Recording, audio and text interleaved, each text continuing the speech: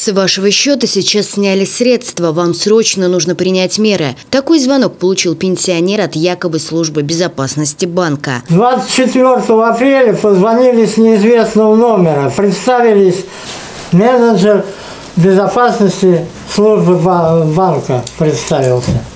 Они оказались самыми натуральными мошенниками.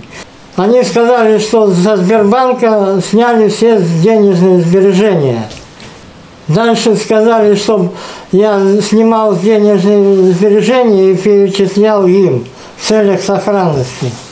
Ну, снимал и ложил. В разных банках? В разных банках, да. Выполняя под диктовку незнакомца ряд действий, пенсионер из-за страха обналичил все свои сбережения и перевел их на указанные ему резервные счета, где деньги должны были якобы остаться в сохранности. Однако мошенник их сразу обнулил. Перевел 4 с лишним миллиона им.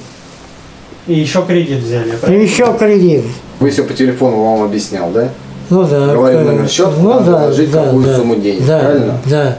Суммарно со счетов пенсионера пропали более 5 миллионов 300 тысяч рублей. По фактам мошенничества возбуждены уголовные дела по части 4 статьи 159 УК РФ, по которой предусмотрено наказание в виде лишения свободы на срок до 10 лет. Сотрудники банка никогда не просят предоставить данные, совершать какие-либо операции с картой или счетом, а также сообщать пин-код или код безопасности. Сотрудники полиции в очередной раз напоминают гражданам, предупредите об уловке уловках мошенников своих родных и близких. Любой звонок от незнакомого человека относительно перевода денежных средств должен вызывать подозрение. Не следует поддерживать разговор. По всем вопросам о состоянии счета надо звонить лично по телефону, указанному на банковской карте.